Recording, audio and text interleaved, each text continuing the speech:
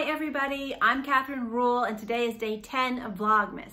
Thank you so much for watching and today I'm going to be doing hibiscus dyeing. Hibiscus dyeing is a natural dyeing process and it looks like this once it's all done. It's like a dusty purple color and I'm using dried hibiscus that I found at the grocery store. It's pretty easy to find and it's a very fun, easy, safe project to do in your kitchen.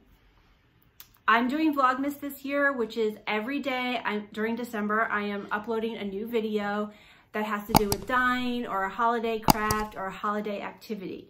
So if you like this video, hit the thumbs up button and subscribe for more Vlogmas videos. Thank you so much for watching and let's get started. Hi everybody. Today I'm going to be doing some hibiscus dyeing. Uh, this is natural dyeing and I did a few test strips that turned out really nice. It's kind of like a plummy, purpley color. These are linen. Um, so the linen took it pretty well. Uh, I didn't do any cotton. I would imagine the cotton would also take the color, but probably be a little lighter. Um, so anyway, I'm going to try to recreate this or even maybe a little darker today. And what I'm gonna use are these hibiscus flowers. I just got these at the grocery store. Um, they're dried hibiscus flowers. You can see what they look like. Um, I got this idea because there's like this donut store in Brooklyn called Dough that um, has like a really famous hibiscus donut. And it's like bright pink and it's really, really striking. Um, so you can also make tea out of this, which is kind of fun. Um, anyway, so that's at the grocery store. They're really cheap and easy to find here at least. And I'm going to use some linen and I have a vintage sort of like handkerchief thing. It has a stain on it. So I don't know exactly what this is, but I think it feels kind of like linen. Um, it might be cotton too. Anyway, I'm just gonna experiment. I think it will be cool. It has this pretty sort of jacquard white on white pattern that will probably kind of come out more when it's dyed. So I'm gonna play around with that. So I'm going to be using these acrylic pieces. Um, I just washed them all. I've used them for indigo a lot um, but I wanted to get all the indigo off of them.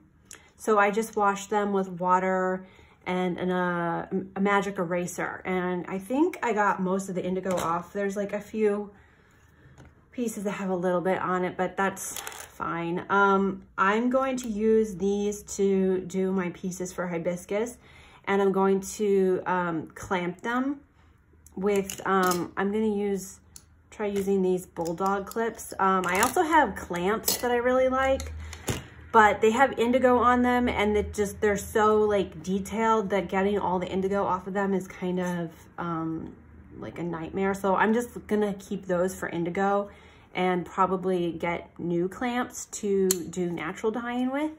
Um, but in the meantime, I'm just gonna try using my bulldog clips. So the first thing I'm gonna do is make sure everything is ironed and I'm just going to start folding. Of course, you have to do accordion folding for any shibori. If you've seen any of my other tutorials, um, I talk a lot about accordion folding. So we're going to do accordion folding for this piece and pressing it in between each fold. And then I'm going to accordion fold it in an equilateral triangle. So I'm just going to keep folding and pressing and anything that you do with an equilateral triangle usually turns out kind of like a flower pattern. It's going to have six petals or six elements that go around in a circle. So uh, it's one of my favorite folds and you can do so much with it from rubber bands to itajime molds and different shape molds. You don't have to always use a triangle. So it's a really great fold. And I'm going to use my acrylic molds here. And it's too thick to use a bulldog clip, so I'm going to use rubber bands. But if you're going to use rubber bands, be very careful because this actually bent the acrylic pieces due to the heat because we're going to put them in a heated vat. Um, I can still use them, but they're a little bit bent. So anyway, just be careful.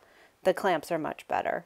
This is a um, pillowcase that I made uh, previously. It's it's 100% cotton, and I'm just going to turn it right side out and then accordion fold it into a long skinny rectangle and I'm just going to continue folding it into a rectangle all the way up working my way through one side and then to the other side and then I'm going to turn it over and follow suit on the other side. I've been having a lot of fun with Vlogmas. Thanks for everyone for tuning in. Um, it's been a really great creative challenge for me. I've been producing a lot of videos and I have a lot of ideas and it's really exciting. So um, I hope you can get a chance to check out some of my other videos. I'm doing like a combination of holiday activities and dyeing, which is really more of my usual videos and content. So anyway, I just wanted to say thank you for everyone who's commenting and liking. It really um, keeps me going because it is a lot of work, um, but I'm having a lot of fun with it. So what I'm going to do on this one is a lot of little uh, clamps and little molds. So this is going to give me like different stripes basically of these shapes. And um, the kit has a whole variety of bigger shapes and smaller shapes. So it's kind of fun to play with the smaller shapes um, and do like rows of them. And I'm just going to adjust them as needed so that they can all fit on this rectangle.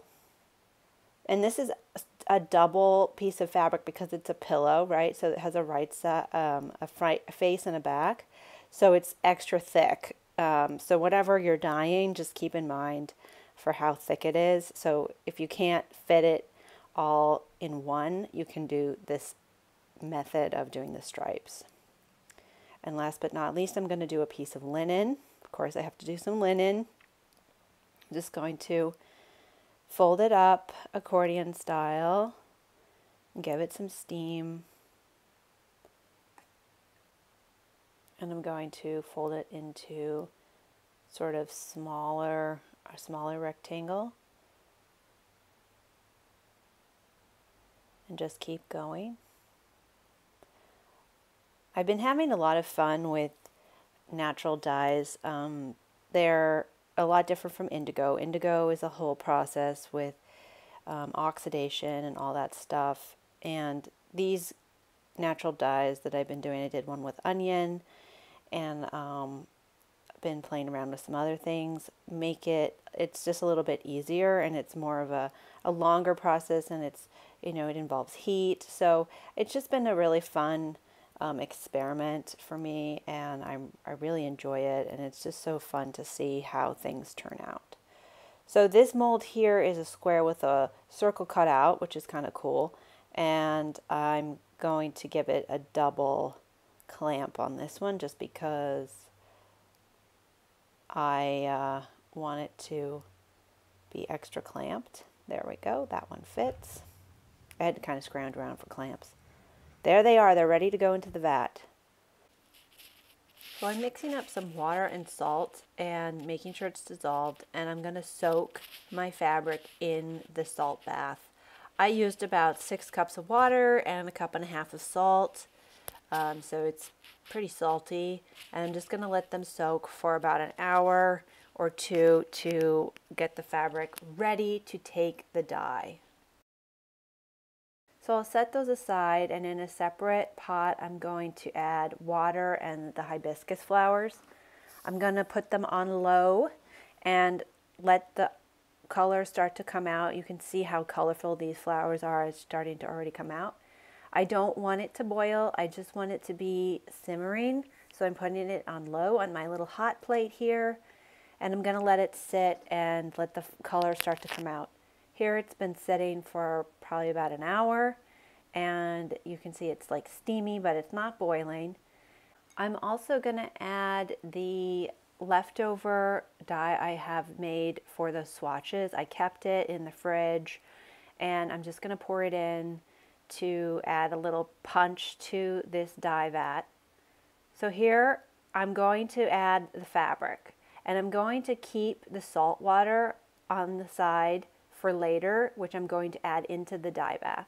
So I'm just going to put the fabric in and make sure it's nice and submerged and stir it up. I'm going to leave the flowers in the dye vat just because this, I don't care if it's a perfectly smooth dye job because it's like Itajime Shibori and stuff. And I think it kind of adds some character. But you can see already it's getting some color and those templates are really providing a really strong resist. Here it's been soaking for a few hours and uh, you can see there is some resist on the inside of those templates. I'm going to take them out. I kind of let it cool for a little bit, so don't get, put your hands in if it's hot, obviously. And I'm just wringing everything out and I'm going to set it aside. Now this one got a little bit bent, like I was saying, so be careful if you're using these acrylic templates. I would use clamps instead of rubber bands. That was a mistake that I made, so don't make it yourself. Here I'm unwrapping them. This color is amazing when it first comes out. It's like so brilliant. It's going to darken and lighten when it dries, but it's just so pretty when it comes out. Here I'm unwrapping the triangle one. Here is, see it's kind of bent there, but that's okay. This is the handkerchief and it turned out kind of like a flower with the petals. I love that pattern so much. It's so pretty. And I'm going to set these aside and be careful not to let them overlap because the hibiscus can stain the white parts of the fabric. Um, so be careful. It's very potent when it's wet. Oh, I have a little indigo there. I don't know where that came from. My studio has a lot of indigo in it, so um, it's just kind of the reality of dyeing. I rinsed that off and it came out um, fine, so I didn't have to stress out about that, but just be careful to be working in a clean environment, as clean as you can. And as you can see, one of the things fell off in the bucket. So, so I rinsed everything and let them dry. And this is how they look afterwards. This one I think maybe has a little bit of poly in it because um, it's a little lighter than the other ones. But it turned out really pretty. I love the pattern on it and I am going to iron everything and heat set it. That's like another added way to set the color is to use heat. So I use an iron and just really on high, just like get it hot, hot, hot. Here is the pillow with the stripe that I think turned out really cute. I love this idea of uh, like organic stripes on things and one of the things fell off as you can see so it didn't get um, that four stripe but I think there's something kind of cool about threes so I like the way it turned out it's sort of like a happy accident. I am linking all of my supplies that I used in the description below so you can check those out if you're looking to get some dyeing supplies. And thank you guys so much for watching and stay tuned for next time. So that concludes today's dyeing tutorial with hibiscus. Thank you so much for watching and go ahead and hit the thumbs up button if you enjoyed this video and subscribe for more Vlogmas and dyeing tutorials. Thanks again for watching and I'll see you guys next time.